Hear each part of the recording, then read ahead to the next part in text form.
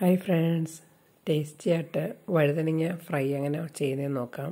ചില വഴുതനങ്ങയ്ക്ക് നല്ല കയ്പ്പ് കാണും. അപ്പം നമ്മൾ ഉപ്പിട്ട വെള്ളത്തിലോട്ട് അരിഞ്ഞ് മൂന്നാൽ പ്രാവശ്യം കഴുകി നമ്മൾ ഒന്ന് പിഴിഞ്ഞ് കളയുന്നത് നല്ലതാണ്. അല്ലെങ്കിൽ നല്ല കയ്പ്പും കാണും.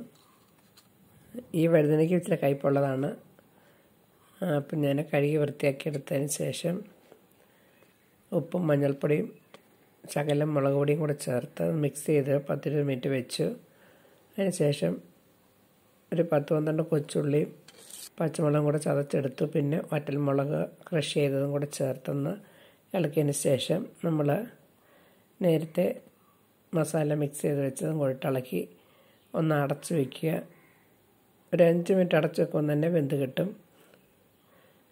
പിന്നെ വീണ്ടും ഒന്നുകൂടെ ഒന്ന് ഇളക്കിയെടുത്താൽ മതി. വളരെ ടേസ്റ്റി ആയിട്ടുള്ള വഴുതനങ്ങ മെഴുക്കുരട്ടി നമുക്ക് റെഡിയായി കിട്ടും.